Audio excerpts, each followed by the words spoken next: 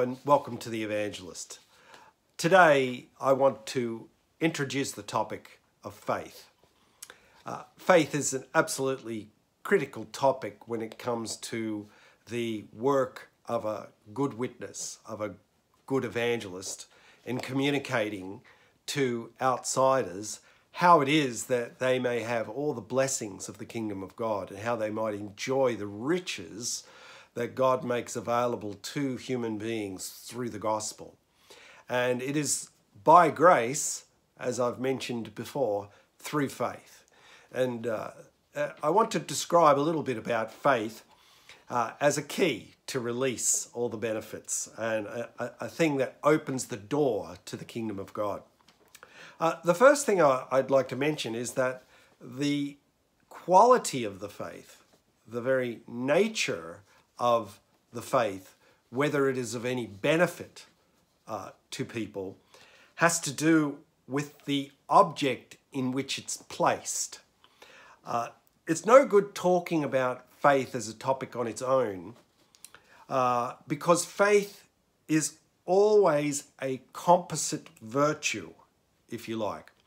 It's, it's a, a virtue that involves another, something other than yourself. So that, um, uh, ironically, in the modern West, uh, there is a plague uh, that uh, is upon us in terms of uh, trusting no one other than ourselves. Uh, it's a major problem. But should we? Should we simply just trust ourselves? Um, it's a common idea. And uh, everyone has a measure of faith. The question is, where is that faith placed? Is it placed in ourselves? Uh, well, we could trust our parents. Um, are they trustworthy? Uh, we could trust our teachers or authors or intellectuals or the media. Are they trustworthy? Uh, we could trust the police and the government? Are they trustworthy? This is an important question. Now, there's an idea perhaps that um, the unbeliever has no faith. Well, actually, that's not true. Unbelievers have all kinds of faith. They may not believe in Christ in particular, uh, but they have faith. Uh, I can recommend a very important book that's been uh, helpful to me. It's called The Faith of the Unbeliever by Martin Robinson. And this demonstrates clearly, this book, how uh, many people have faith, uh, and um, everyone has faith, a measure of it. Uh, it's just where it's placed, and that's critical. In ultimate terms, we, as witnesses concerning God, and uh, his son, the Lord Jesus Christ, we are calling people to trust God. Uh, we're actually, in particular, calling people to trust in Jesus Christ alone. Um, and the question is, is do we trust him? And do you trust him? And uh, and then the next question is, what do you trust him for? Because often in a temporary sense, uh, you, you could trust him for personal comfort or for prosperity, uh, human benefits uh, uh for this world. And in that sense, uh, our faith makes uh, God nothing other than our servant for our benefit. but actually, the kind of faith that is called for in the scripture as one that trusts him for forgiveness, trusts him for reconciliation, trusts him for deliverance, trusts him for uh, a, an inheritance that we don't deserve, that we've traded off. And these things, um, uh, to trust him for those things is uh, not to get him to, to do things for us, but for us to in turn uh, allow Him to be our master. So the uh, quality of faith is such that there is a surrender to Him as master rather than a turning to Him as our servant. Uh, this is a, a, very important thing. Uh, when, when all these questions concerning faith are answered, uh, together they form what's called the Christian faith, if you like, as, a, as an object of study. Um, but I want to talk to you more about other things simply than the object of doctrine or teaching. Um, it's not that forming a doctrine is wrong, uh, but there is a personal call that we're meant to respond to. And we respond to that call and we trust Him and we follow Him. And that is the beginning point for any understanding about God and God's ways. Uh, and for those that have gone before us, the apostles in the church or the prophets that have put together the Old Testament, uh, there are many things to become aware of concerning ourselves and the world we live in and the nature of God and the challenge of faith. And uh, thus, when we trust Christ, ultimately what we're doing, we're exercising faith uh, in the uh, apostles and the prophets uh, that have gone before us. Is a very important aspect of faith. Now, faith is not simply agreeing with facts as they might be spelled out, uh, uh, whether, you know, in, in, in, terms of testimony. Uh, we can read facts and we can be told certain facts uh, on an intellectual level. Uh, that's not a bad start, uh, but that's not the, the whole story as far as faith's concerned. Faith is, is a demonstration uh, of a, either an active expression, so it's active, uh, or else it's a passive trust where we refrain from action and we rather trust God. We may act or we may trust, uh, or in fact, we may do both. Uh, both these things are part of what's called uh, faith in the New Testament. This means that faith is to some extent experimental, it's testing. Um, and I want to give uh, an illustration of this, a very important illustration, which I think you'll enjoy. And it comes from uh, this book called The Edge of Adventure, an experiment in faith uh, by Miller and, Larson. This, in fact, is the first book I ever was given in terms of uh, my coming to faith 40 years ago. And uh, it has this story uh, about Desert Pete, and it demonstrates some of the essential ingredients to what I'm describing in terms of faith. The following letter was found in a baking powder tin. Uh, and it was wired to a handle, this baking tin, uh, of an old pump that was um, that offered the only hope of any drinking water on a very long and a seldom used trail across the desert in the United States. And this letter was inside uh, the baking powder, and it says this uh, baking powder tin. Quote This pump is all right as of June 1932.